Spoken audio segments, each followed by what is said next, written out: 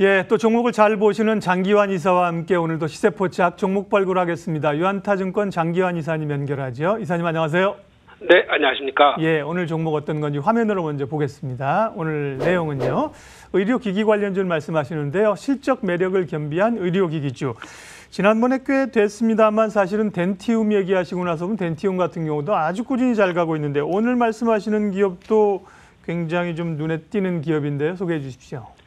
네, 오늘은 그 클래시스, 뭐 여러분들께서 생소할 수도 있지만, 예.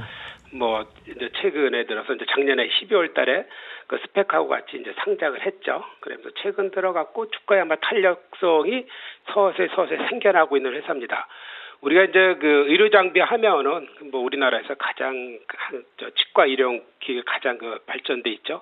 그리고 나서 이제 피부 의료기 이런 거 관련해서는 아직까지는 이제 글로벌 그 몇 개 회사 뭐 머츠라든가 하이로닉 몇 개 이런 회사들이 이제 선두를 이제 점유하고 있고 하는데 일단은 그 클래시스는 어 자체 기술력 그러니까 우리가 초음파 기술이라고 하는데 집속 초음파 HIFU라는 이런 기술을 이용해서 지금 현재 의료 기기용 그러니까 병원에 납품하는 클래시스 그리고 그 이제 개인 그 에스테틱용 의료 기기를 뭐 클루덤 그리고 지난해 그 화장품 브랜드 미국 인수했죠 스캐덤 이런 그 세 가지를 중심으로 이렇게 해서 시장을 서서히 늘려나가고 있습니다. 최근 들어서 이제 비싼 기계 같은 그 가격과 같은 효능보다는 상대적으로 가격 전략이라든가 좀 더 나온 그 사용성 이런 걸 통해서 최근 들어 시장을 넓혀가고 있다. 지금 뭐 10%뿐이 안 되지만 결국 10%라는 것은 결국 20% 30% 시장을 확대할 수 있는 그런 계기가 충분히 있다. 이제 이렇게 보여주는 겁니다.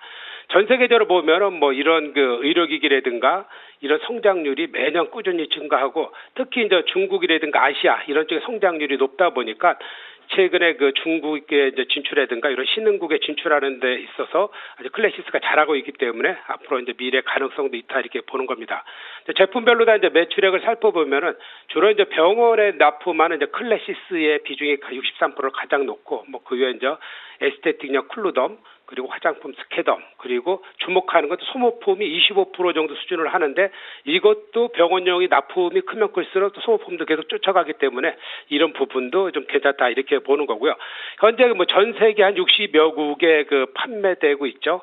그러다 보니까 일단은 그 한 시장 한 시장이 서서히 서서히 이런 피부 미용에 대해서 꾸준한 관심이 결국 실적으로 연결될 수 있다. 이제 이렇게 보여지는 겁니다. 아, 최근 보면은 우리가 또 이제 주목하는 것은 이렇게 기계가 잘 딱 해서 안착이 되면은 소모품이라는 거는 한 기계당 뭐 계속해서 한 그 환 환자나 손님당 계속해서 새롭게 하는 거기 때문에 이런 것을 캐시카우의 역할을 충분히 할 수 있다 이렇게 이제 보여주는 거고요.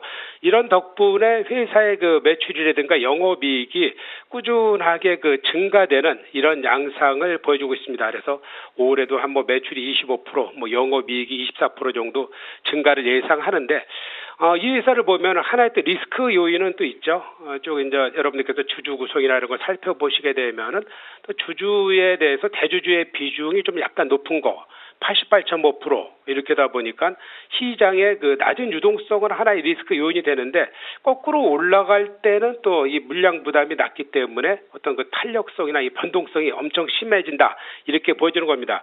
그 동안에 이제 그래프를 보시면 알겠지만 그래서 뭐 장중에 급등락을 그 연출하기 때문에 가격 전략이나 투자 전략 이런 데 있어서는 그런 것을 충분히 염두에 두시고 뭐 급하게 쫓아간다든가 이런 거는 하면 안 된다 이렇게 좀 말씀을 드리면서 어 우리가 그 항상 쫓아가는 가격보다는 이런 리스크 요인이라든가 낮은 유동성 여러 가지 이런 부분이 있기 때문에 어 매수가는 저는 그 5,400원 드리겠고요 목표가는 8,000원 손절가는 4,900원 가격 전략 드리도록 하겠습니다.